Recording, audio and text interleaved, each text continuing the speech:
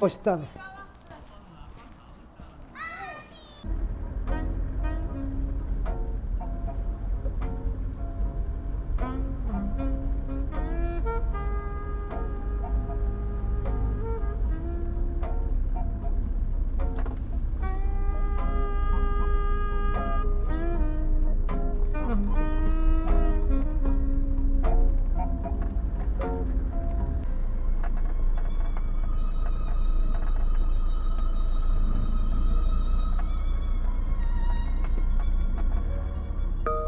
전방에 과속 방지턱이 있습니다.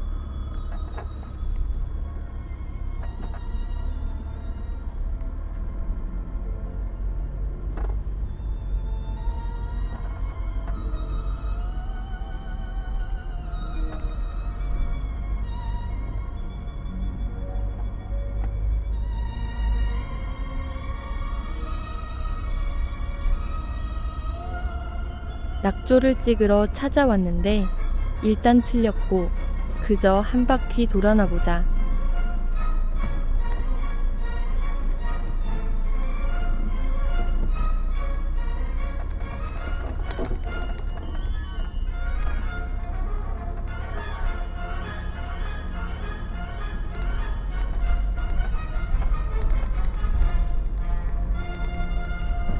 일년 전만 해도 소나무를 배경으로 하는 낙조 애명소였었는데 그 아름답던 백 사장이 무질서한 차박지로 변해버렸구나.